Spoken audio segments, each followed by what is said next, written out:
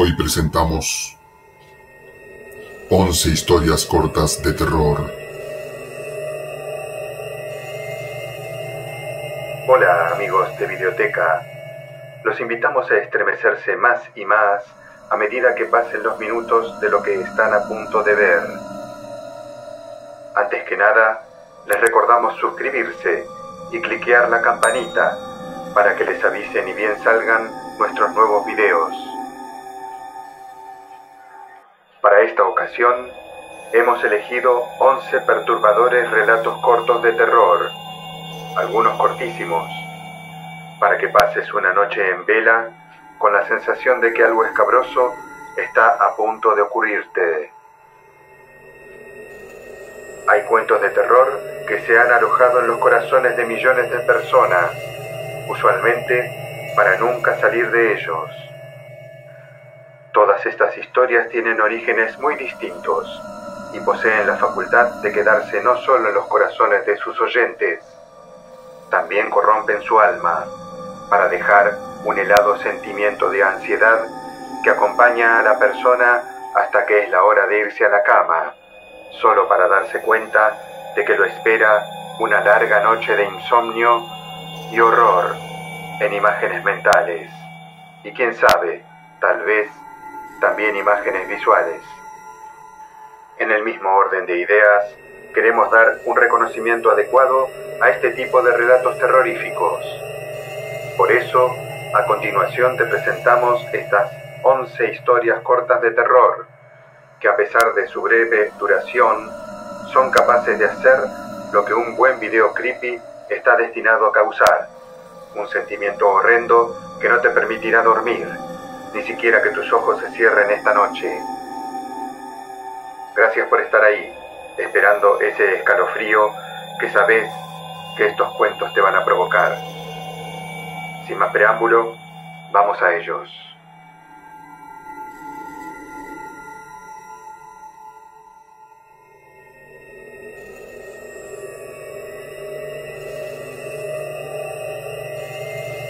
Esta es la historia jamás contada de un cazador que un día fue a un bosque a hacer precisamente eso que hacen los cazadores, cazar. En su travesía, decidió cambiar de rumbo para dar diversidad a su pasión, así que giró su camioneta y la estacionó frente a un bosque que desconocía, pero que tenía la fama de ser abundante en presas grandes justo lo que buscaba. Bajó del vehículo y comenzó a caminar con su escopeta bien afianzada en sus manos, a la espera de algún animal descuidado. Había andado por unos 20 minutos cuando, de pronto, no pudo ver más allá de su nariz. Una abundante niebla se apoderó del panorama. Resultaba tan espesa y profusa que el cazador no pudo dar con su rumbo de origen y se adentró en el bosque más de lo que había planeado.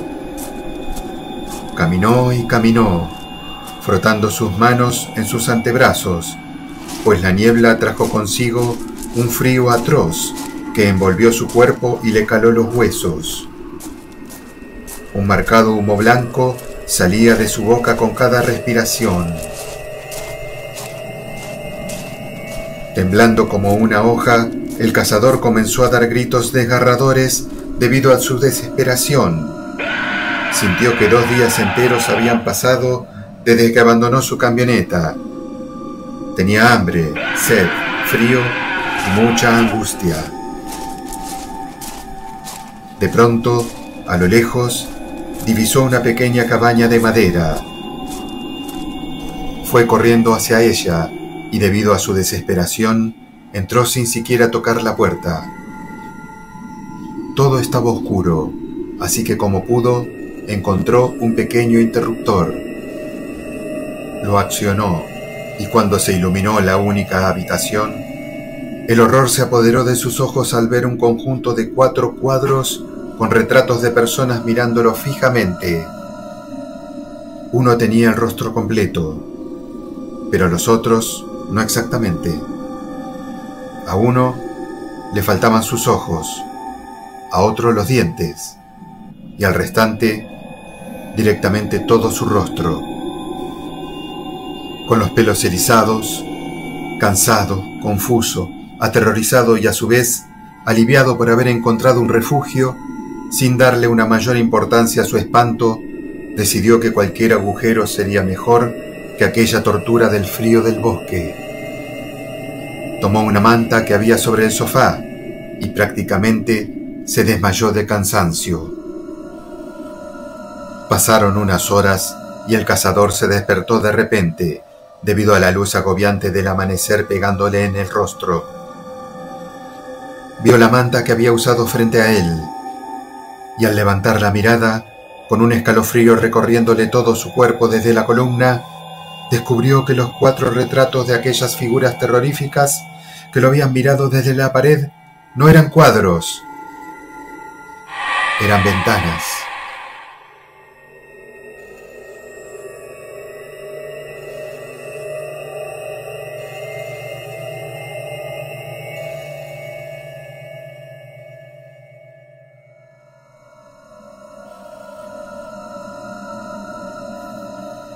Cinco jóvenes, todos fanáticos del ocultismo, nigromancia y las artes oscuras de la magia, iban camino a una iglesia que había sido abandonada hacía más de 120 años.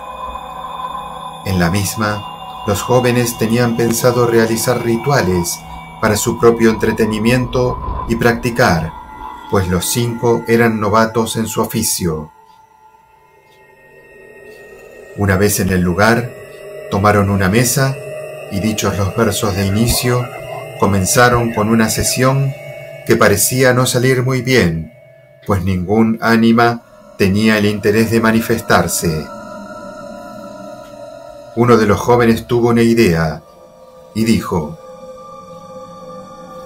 Si hay alguien en este lugar que los moleste, toquen tres veces la puerta.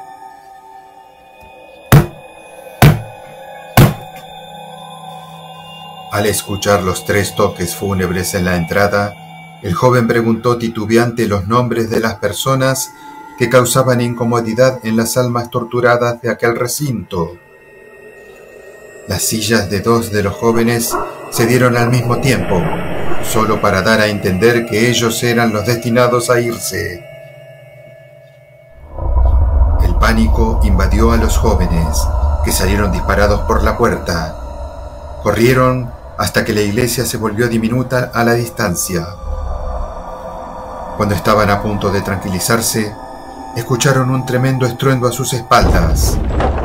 Se voltearon y alcanzaron a ver cómo el terreno se rajaba y provocaba el derrumbe de la iglesia en la que estuvieron hacía solo dos minutos.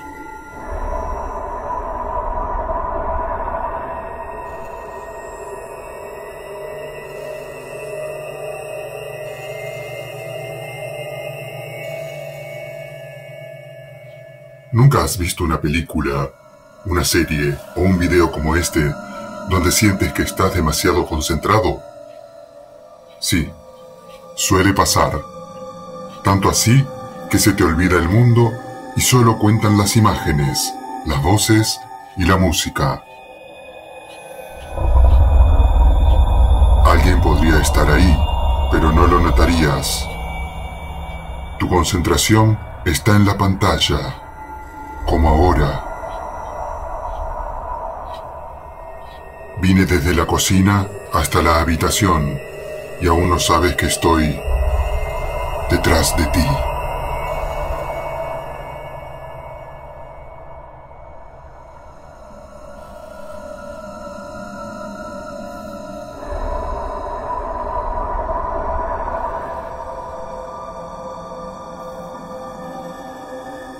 Era una noche tranquila en los dormitorios de la Universidad de Virginia, Estados Unidos, cuando una joven llegaba de una fiesta que terminó a las 3 de la madrugada.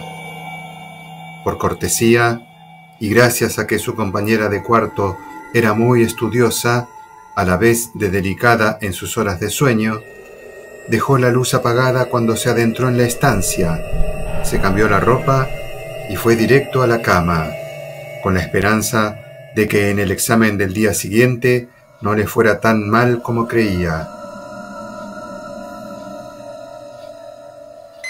Cuando la alarma de la joven sonó a las siete de la mañana y abrió sus ojos, un grito desgarrador salió de su boca cuando divisó lo que antes había sido el cuerpo de su amiga, regado por toda la habitación en charcos enormes de sangre y vísceras. Los brazos en un extremo del piso, las piernas en el escritorio y el rostro desprendido del cráneo encima de la almohada ensangrentada hasta más no poder. El mórbido y horrendo escenario quedó concluido cuando la joven se desmayó al leer unas palabras escritas en la puerta con la sangre de su amiga. ¿No te alegra no haber encendido la luz?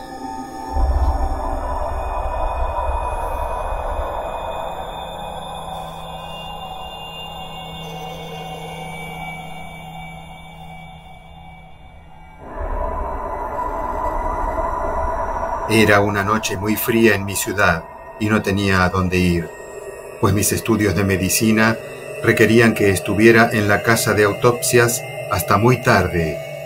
Pero justamente esta noche me siento muy cansado. No sé por qué, pero no reparo en ello. Guardo mis instrumentos y salgo de la universidad. Como los dormitorios están muy lejos, decido acortar el camino por una pequeña plaza que, como supongo, está poco transitada por ser ya las once de la noche.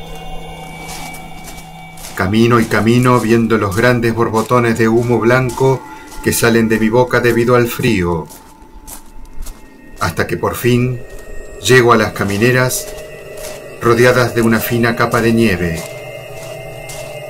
Nunca me gustó mucho ese lugar pero queda justo detrás de los dormitorios, por lo cual tomo la poca valentía que me queda y aprieto el paso hasta que, cuando me encuentro a mitad de la plaza, empiezo a escuchar unos pasos rápidos a mis espaldas.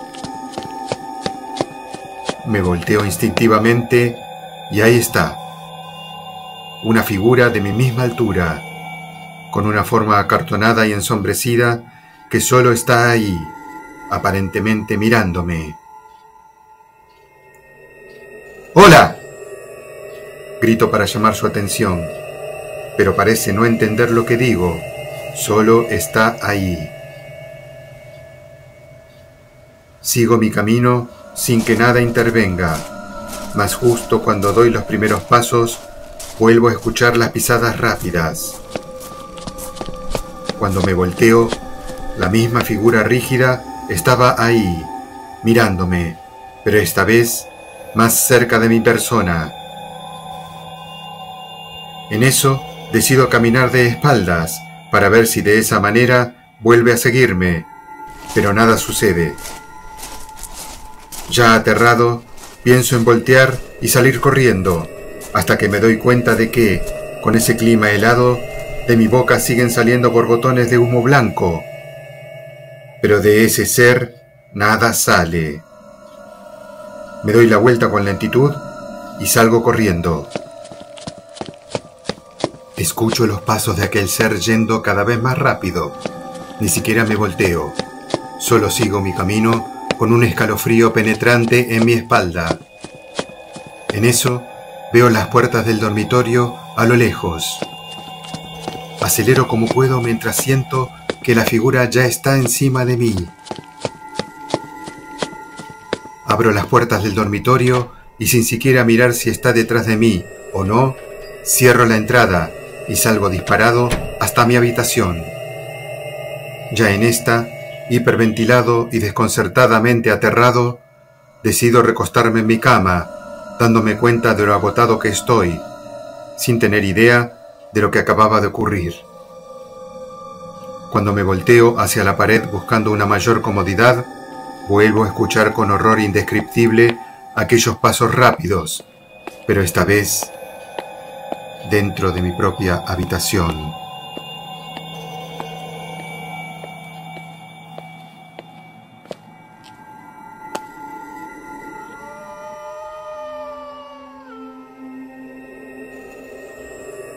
Dilo de nuevo, dijo el padre a su hijo. Lo siento, papá, le respondió el pequeño. Debes decirlo de nuevo. No te creo en lo absoluto, insistió el hombre. Papá, en serio, no fue mi intención. Pero el padre seguía sin creerle. Abofeteó al pequeño hasta que un rojo carmesí se apreció en ambas mejillas. ¡Maldita sea! ¡No te creo! En eso, el pequeño, entre lágrimas y sollozos desgarradores, balbuceó. Yo no quería hacerlo. No quería dejar mis juguetes en la escalera. No quería que mamá se resbalara. Fue un accidente. No quería que muriera. En serio, lo siento muchísimo, papá. El padre miró fijamente hacia donde estaba tirado el pequeño y con una sonrisa le indicó, Perfecto. Ahora sí creo en ti. Así, justamente así, debes decírselo a la policía.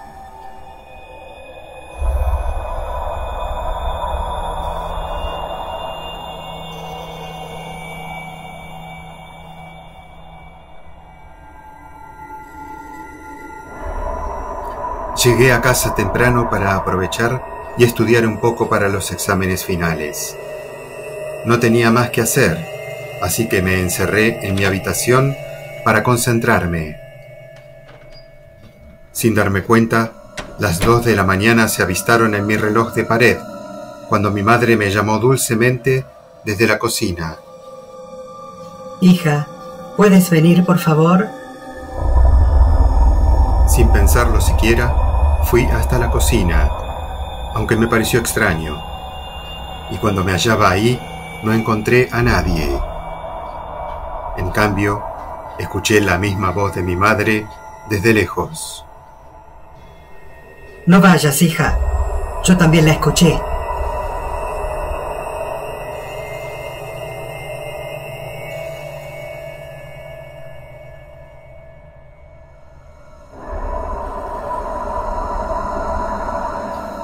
Toda mi vida había tenido mascotas como gatos y perros, que arañaban la puerta de mi habitación para que los dejara entrar. Pero ahora que vivo solo, totalmente solo, es mucho peor que en ese entonces.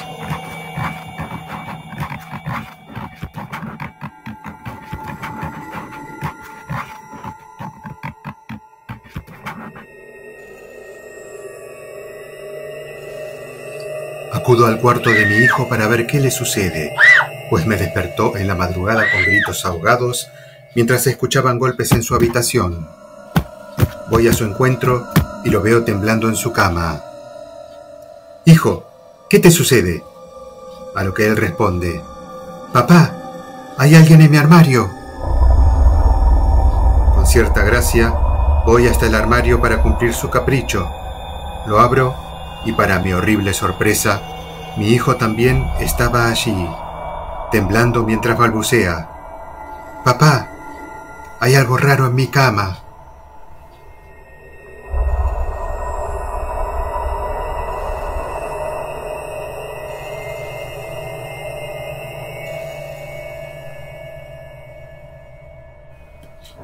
Desperté a la una con tres de la madrugada por los llantos de un bebé en el piso de arriba. Aunque sabía que ahí no vivía nadie, pensé que habían abandonado a un pequeño. Por eso llamé a la policía para que le encontraran un hogar. Pero cuando llegaron al apartamento, se impresionaron al verificar que no había nada. Horas después, escuché una tétrica risa que venía del mismo piso abandonado. Y ahí con un sentimiento profundo de terror, lo supe. Se estaba burlando de mí.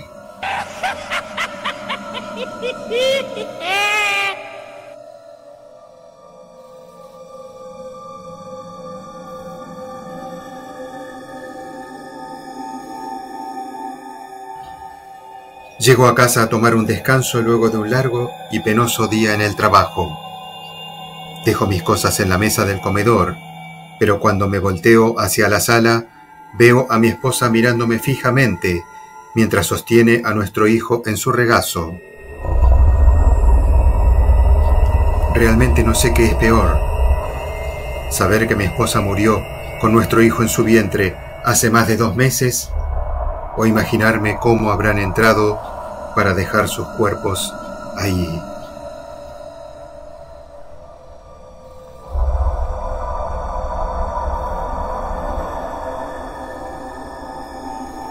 Sin importar lo mucho que estos relatos cortos de terror nos hagan sufrir, sabemos que las sensaciones que nos deja una buena historia de horror son tan satisfactorias como perturbadoras.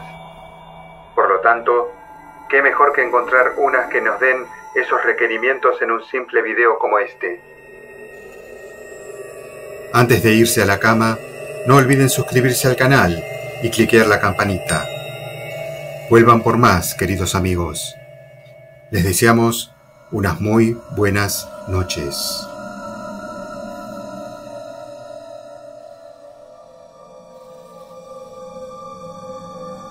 Acompañanos en nuestro próximo episodio de los Archivos del Terror, muy pronto en este canal. Suscríbete para apoyarnos y para no perderte ninguno de nuestros videos. Muchas gracias.